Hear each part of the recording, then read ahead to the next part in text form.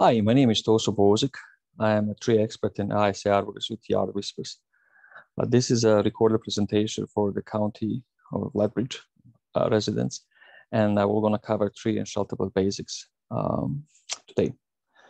Um, as I mentioned, I'm a tree owner. I'm an owner and uh, and a tree expert with the Yard Whispers, which we are a consulting company providing services to residential and commercial businesses, golf course industry, municipal government, parks, campgrounds, and several other organizations.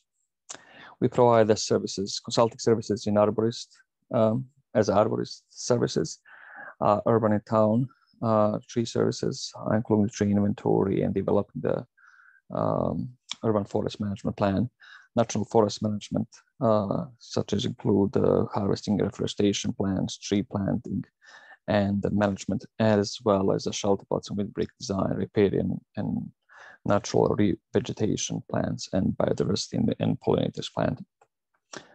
What's the outline of this presentation? We're going to cover what is the values of the trees on your property, what's the purpose of the shelter belts, uh, steps for the tree planting, um, how to design, how to choose the tree species, how to do the site preparation, planting and weed control and maintenance. What are the values? There are many of them. And uh, I would like to emphasize a few of them.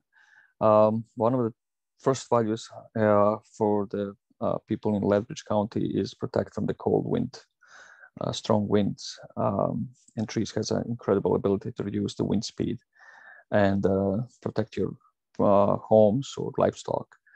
Also, it reduces the summer heat. It's provide an incredible cooling effect uh, during this hot summer days. Um, if you plant the trees around the livestock operations is going to protect your livestock during the cold and, and hot weather, during the cold and hot, weather days. Um, if you plant the trees on your field, it's going to increase your crop yields uh, uh, significantly. In some areas, it can increase uh, crop yields up to 40%.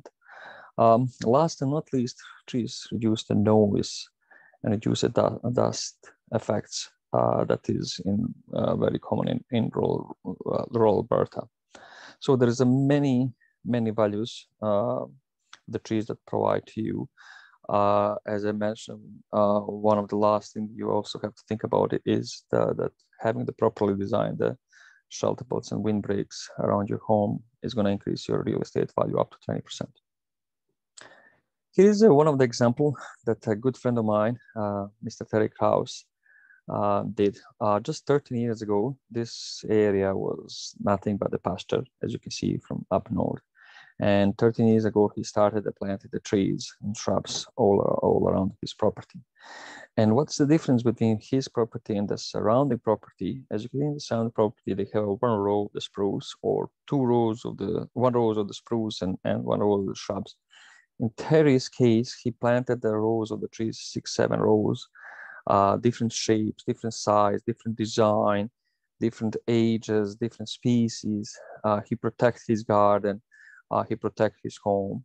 And the beauty of this that he has a so high diversity of the trees and shrubs in his property that there is no insects and disease or any weather uh, event that is going to take all of those trees and shrubs. In the case of the, his neighbors, if you get a spruce beetle spruce beetle uh, or some of the diseases, all of the spruce trees will be gone. And this area, uh, his neighbor will be totally exposed and, uh, and uh, not having any, any protection. And what Terry did, again, he planted different, different trees and shrubs, different ages, different design. And that's what you want. If you want to have a really area like this, keep in mind one thing, diversity, diversity, diversity. The more diverse trees and shrubs that you plant on your property, the better it is. Your, your trees and shrub is gonna last longer. It's gonna create own ecosystem and it's gonna be sustainable for the long period of time.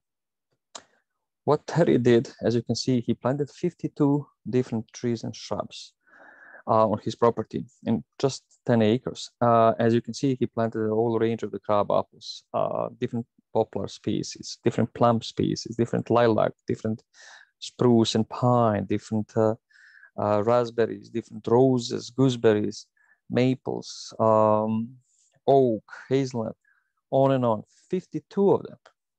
And there is no insect or disease that is gonna all of them. There is no even salt that is gonna take all of them. Even chemicals most likely is not gonna kill all of them. So the, the beauty of this, this gave him a long-term stability for his property.